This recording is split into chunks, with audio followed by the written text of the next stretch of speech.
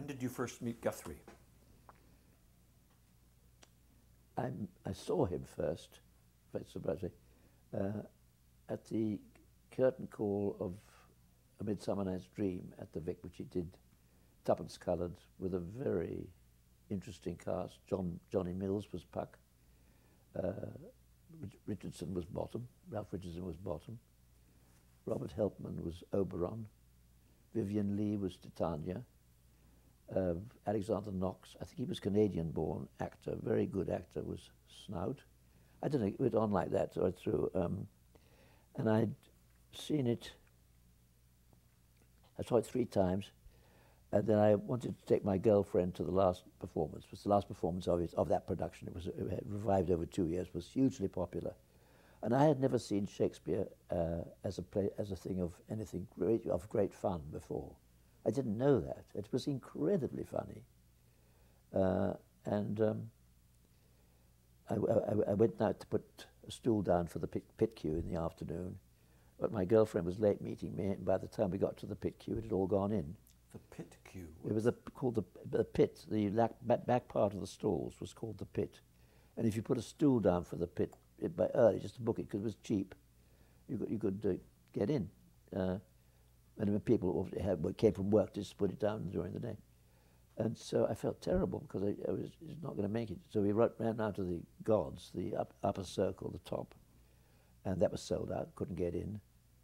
So I was feeling just suicidal about this. And I went to the box office and I spoke to a, a woman, a very nice woman there, who turned out to be, uh, a, a, became a close friend after the war, Mrs. Clark, working in the box office at the Vic. And uh, she said, well, wait a minute, we can get you into two seats uh, in the royal box. She said, you can't see all the stage, but you can see into the wings, which is always interesting. so we took them. And it was a you know, joyous night. And at the curtain call, uh, uh his honour came on, Guthrie, this tall, lanky, um, he, he, fell over something on the entrance, but he looked, you know, he looked splendidly patrician and uh, big hands and he smiled and all that sort of thing. And I, and I thought, he's just fantastically creative person. He did this. And then I went to the war. I come back from the war. I get to the Arts Council thing with Beatrix Lehmann. And Guthrie comes, hears about me and work and comes to see me in Coventry. I did a production of, not the play you'd want anyone to come and see if they didn't want to desperately, of The Doctor's Dilemma by Bernard Shaw. And uh, he was tremendously uh, uh, generous about it, talked to the company, and they were all very thrilled he was there. And the next day was in the days of petrol rationing. Petrol rationing. Um, I offered to drive him to Birmingham, but he wanted to go. And he said, is this, is this um, ration petrol, is this Arts Council petrol? and it was all that sort of got me, yes, but I haven't used it much, so we, we're all right, we'll get there. We got so well to, on together during the trip to Birmingham with he and his wife that uh, I said, look, where are you en ending up? And they said, we're, ending, we're going to get a train to Bristol. So I said, I'll, I'll drive you to Bristol, what the hell? So we drove all the way to Bristol.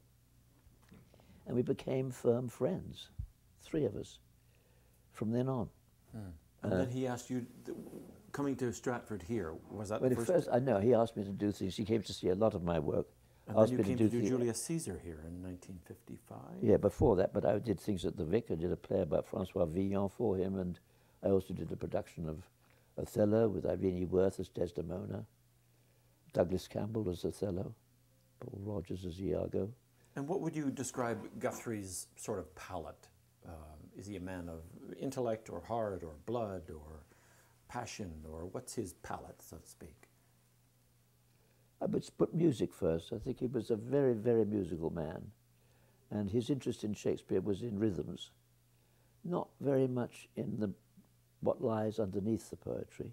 I mean, that, in my experience of growing into a director, that was something that I learnt, the actual thing of learning to trust the author, to you know, trust him, just go with it and see what happens.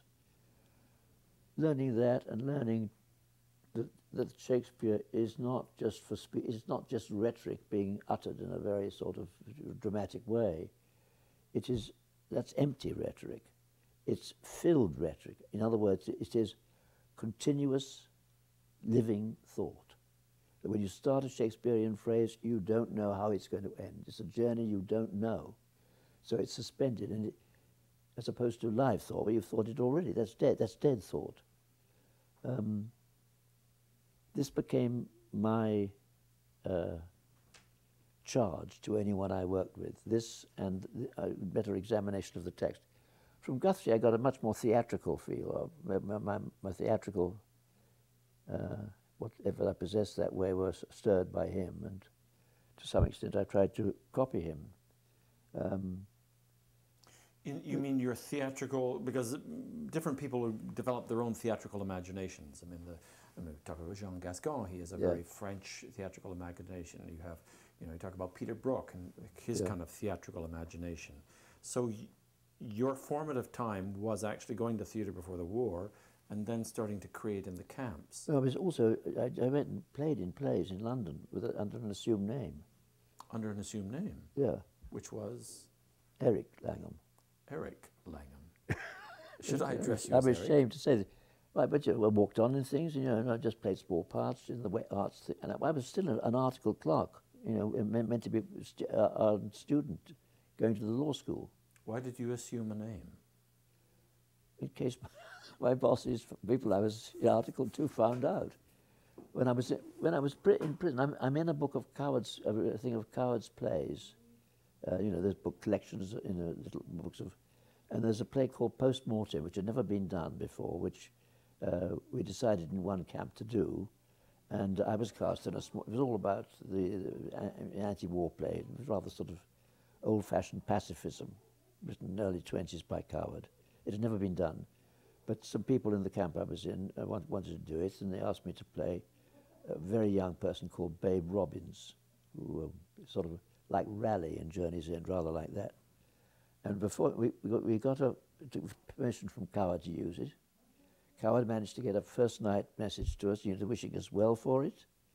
And uh, we played it for a week in the prison camp and it's now we've uh, the cast list is in the this published version of Coward's plays, and under Babe Robbins it says Mike Langham.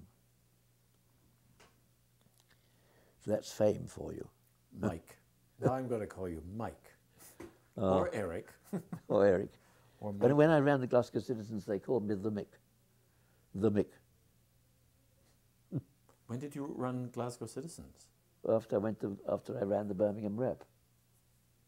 I ran uh, Coventry first, then the Birmingham Rep, then inadvertently the the Vic and other things, and going to Europe and doing things in Europe, and then I took on the Glasgow Citizens for one year, and uh, it was interesting work. They wanted to make a, an English rep of it, and I was wanting it to be Scots, you know, and so give it. A, a lot of plays that had been lying around in the theatre for years, never performed. We did. But I got too, it got very hot because of the, na the national, uh, Scottish National Party started to think that I was, you know, one of, one of them really.